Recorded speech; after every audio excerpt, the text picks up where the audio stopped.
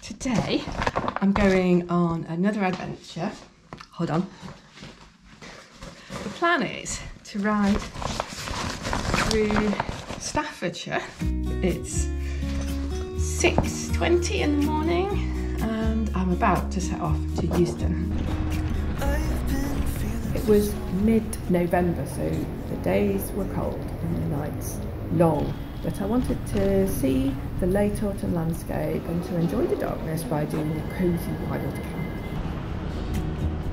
Why Staffordshire? Well, basically, I found out that my dad and little brother were meeting for a pub lunch on the Staffordshire Derbyshire border, and I thought I'd cycle to the pub over a couple of days, camping wild along the way. I don't know Staffordshire at all, so I planned nice, easy distances and thought I'd just see what I found. And I had a couple of ideas about how to make the adventure extra cosy, which you'll see later in the film. Amazingly, there was a bus literally from outside the pub. So with my Brompton folding bike, I could use public transport to make a brilliant little round trip adventure. So it's about 10 minutes left on the train now.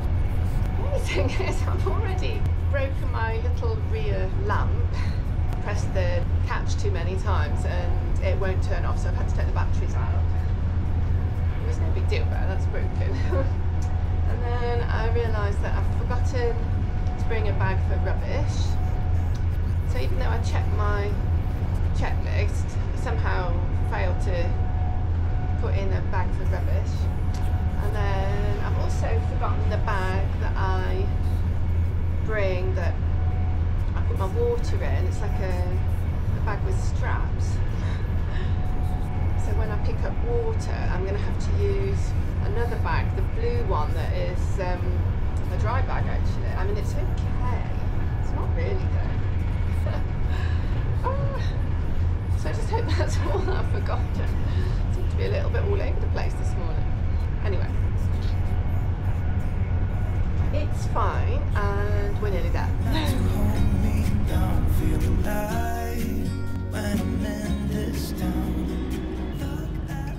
So my plan was to ride about 25 miles on the first day, camp wild over on the Derbyshire side of the county border, and then cycle to the pub on the second day. The first thing was to make my way out of Stafford. Happy now. Following a cycle route to get out of town. I looked at the wet landscape and thought my cosy evening camp might be quite difficult to do. It's really good, isn't it? oh.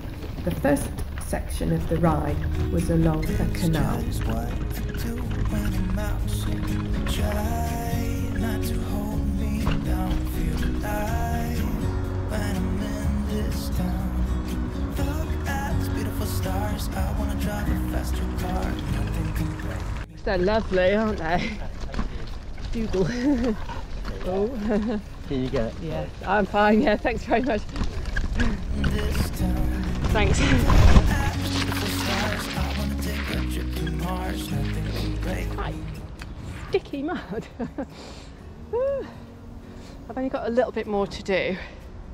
Uh, and then we're coming up onto a road and into the park.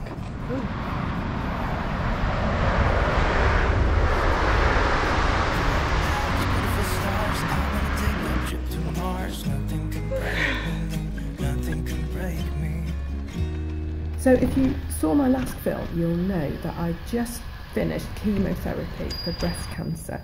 Since then, I have been doing NHS recommended exercise for adults. Basically just walking, jogging, cycling, and a few minutes of high intensity exercise, burpees, press ups, etc., to build myself up. The ride had actually been harder than I expected so far. Ah, hooray! I mean, it's lovely to do sort of off-road sections, but it's quite hard. Right, so, road. On my previous ride, after my last round of chemo, I really struggled. So I'm hoping these legs are, uh, are going to be absolutely fine today. it's a much easier ride as well. Which is the idea really, is that a recovery ride. so now I was at Shugborough. It's a big country park estate with a house on the edge of Cannock Chase.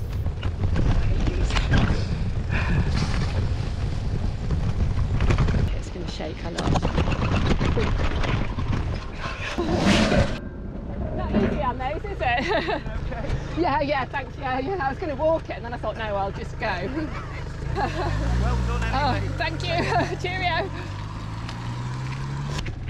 Shugborough was owned by the Anson family, and I thought, I remember that name. There was a George Anson who, in the 1700s, when Britain was at war with Spain, sailed to Canton, actually near Hong Kong where he used to live, and captured a galleon. But I didn't know what the connection was with this place. He captured a galleon, right. a Spanish one, that's where the money was made for this for this, for right. this estate. Oh, that's wonderful, millions, isn't it? Millions. Yeah. It helped develop the estate and became what they wanted to be called as a paradise. Oh. So it, it's fascinating. Yeah. And, and there's, there's 900 acres, there's lovely walks. Yeah. I volunteer, well, I used to do once a week, but then was it's once a super. fortnight also. I'm Susanna. What was what's Uh, your name? Colin, where are you from then? Manchester. Yeah. I'm a Staffordshire person, Stoke-on-Trent. My father was in the ceramic tile industry. I worked in the chemical industry where we produced Ah. inorganic pigments and ceramic colours. Because of the ceramics industry, it was a Stoke-on-Trent based Yes, industry. right. So you'll have to come again and Oh, thank you so much. It's Yeah. been so interesting. See you next time. Bye.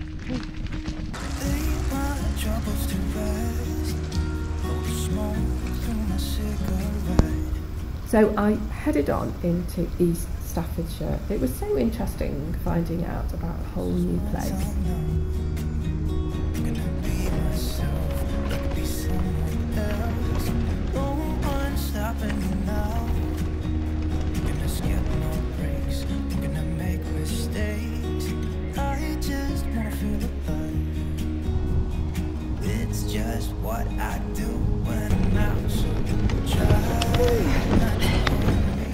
Time for mid-morning snack. Together. So I've brought banana, kiwi, and apricot. Keeping the fruit down there. It's quite good actually.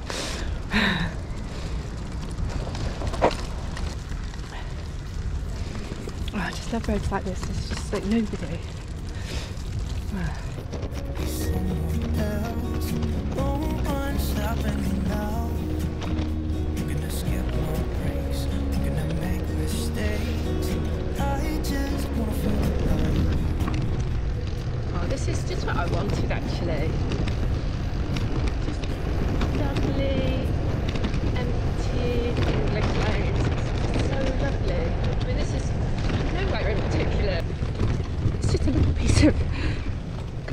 Countryside and it's so pretty. So now I was crossing the valley of the River Blythe and it was super pretty.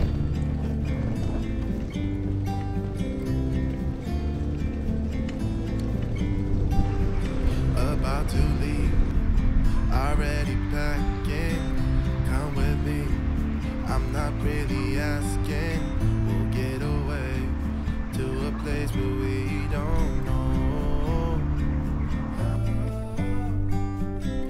About to see the world in action. So Blythe is the name of the river and it means happy.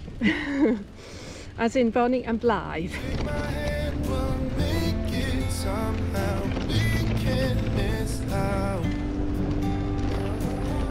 I'm done. Good morning, isn't it? The lights out, down, Yeah.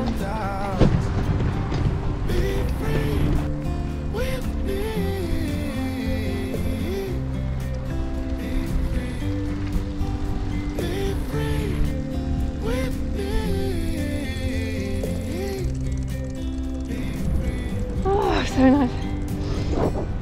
Oh, this is exactly what I wanted. Okay. Lovely middle England sort of landscape.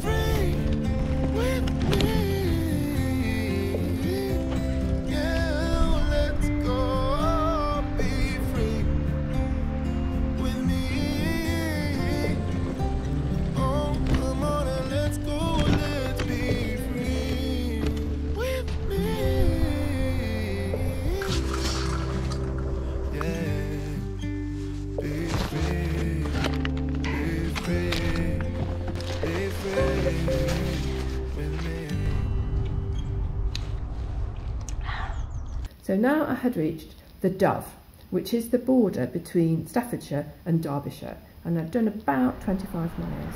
So this is the Dove, which comes down from the Peak District and then flows into the Trent. So I'm going to try and camp wild. So it's, it's about one o'clock now, probably a little bit after. And the afternoon is really short because it's winter and it's sunset at four. Uh, so I need to kind of start counting down towards finding somewhere. Uh, basically, water is the next question. I was a bit worried about the look of the sky.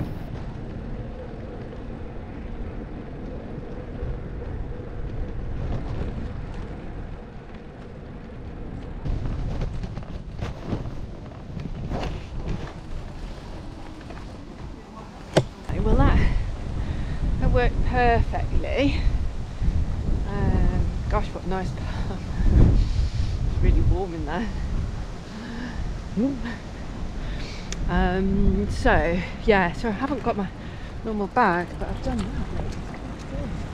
Uh, Seems okay. It's quite a lot of weight on the back though, because that water's four litres, so that's 4k.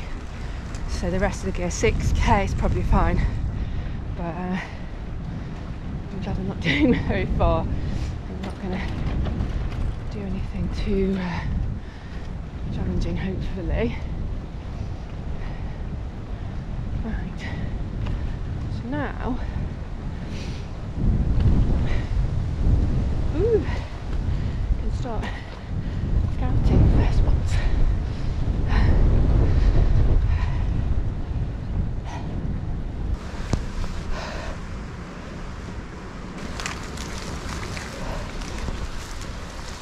Right. Suddenly saw there was a quite nice field here. So to see good round this corner. It's facing the wrong way, that's all. Yeah. I want the morning sun.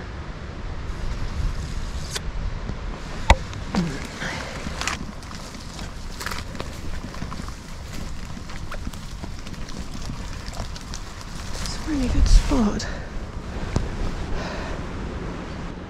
I think this will do. This is this is great actually. It's not quite what I thought, but um, yeah.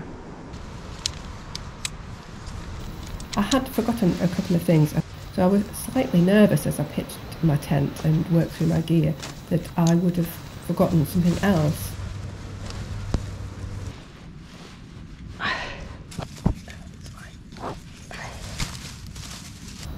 But it seemed like I had everything. So far, so good. Absolutely super. Now the weather was gorgeous, cold but a beautiful sunlit afternoon. So now it was time to do one of my cosy ideas. So today I'm going to try a new idea. I'm going to try and make scones, bake scones. I obviously made the the dough at home. I made it yesterday. So I mean, whether whether it will rise, I have no idea. Whether it will cook. Anyway, I'm going to give it a go. I brought extra fuel. and of course I've got more time because it's. Uh, I mean, it's it's super early. It's like three o'clock. Anyway, right, scones. Oh my goodness. I think I probably ought to put it on fairly low. So nice. Sitting, watching.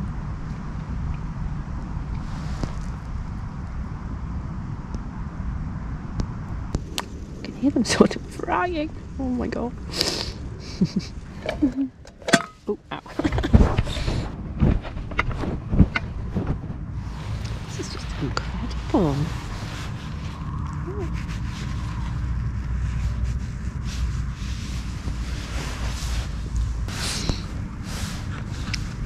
It's too much.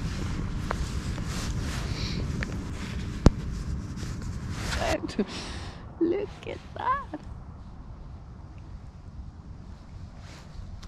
Oh my god, that is fantastic.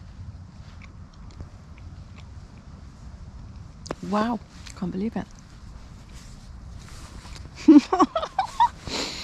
wow. Oh, that is amazing. wow.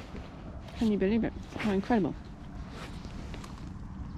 I've got two more. wow.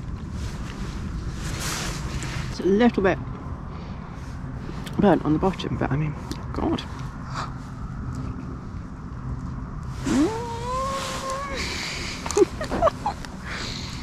God, how lovely.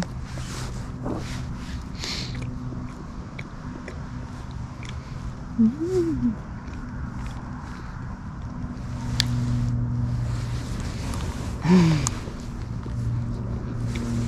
And the bottom's quite crispy. It's kind of fried.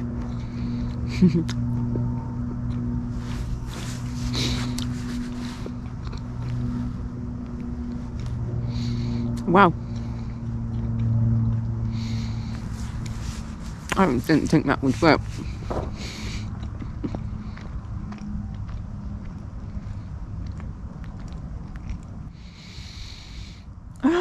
Ah, time for coffee.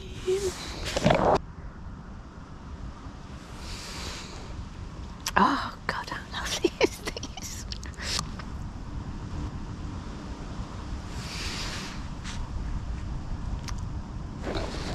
It's lovely at sunset actually.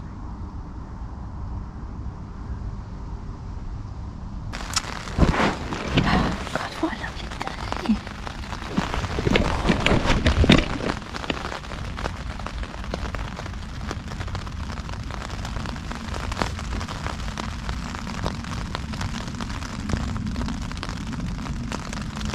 I don't think it's going to rain much.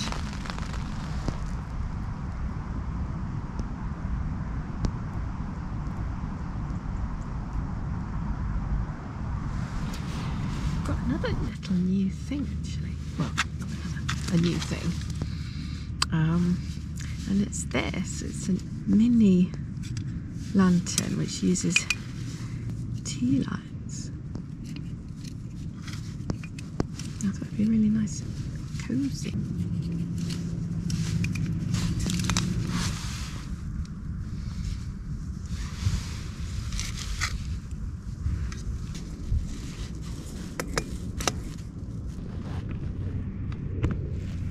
So, I'm going to cook a noodle dish again. So, fresh mange fresh cabbage, and roasted cashew nuts, and toasted sesame seeds, and the whole thing's going to be fried and then quickly boil the noodles in the same pot and add some oyster sauce to give it a bit of a flavour.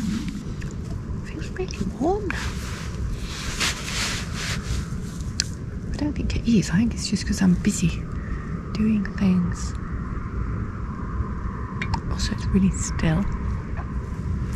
It's beautiful. Absolutely beautiful.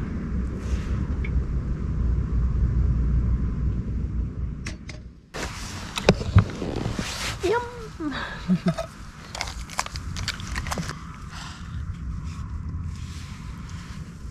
It was so cosy. This was my setup. So I've got my trekker chair, my bike tucked in the porch, and I've got my stove and my candle lantern. It was just a matter of making a flask of tea and sitting and watching the night sky.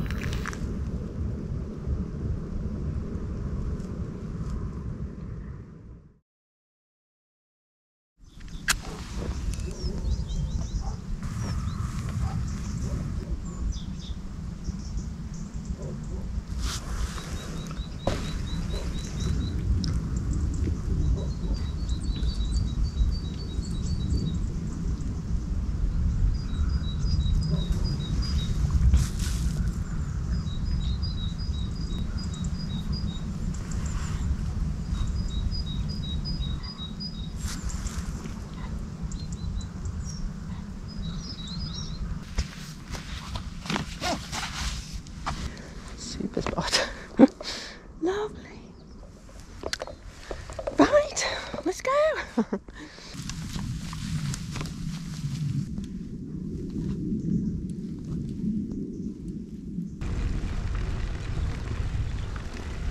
what a beautiful morning. Lovely. I love the feeling after you've done all the packing and then you just glide away on the bike. So nice. I'm always thinking, oh, is there going to be a puncture? Because that can happen too. But um, it's just so quiet peaceful. We just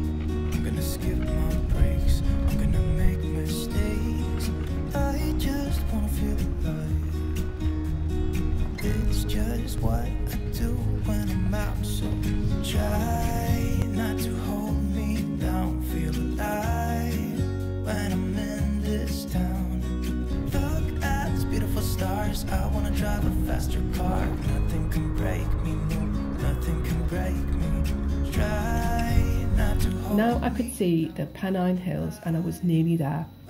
I descended back down to the River Dove. when I'm in this town. Look at beautiful stars. I wanna drive a faster car.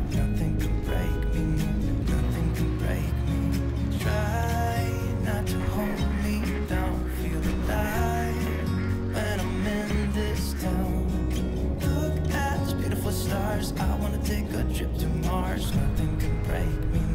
No, nothing can break me. And then after a lovely lunch, amazingly the bus arrived. And I made my way to Derby. So had I enjoyed my autumn adventure? Yes, I had loved it. The beautiful November landscape and interesting places.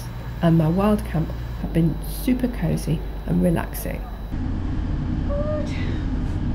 What a lovely trip. so I'm on the train now back to London St Pancras. Uh, that's it. Thank you very much for watching. See you next time.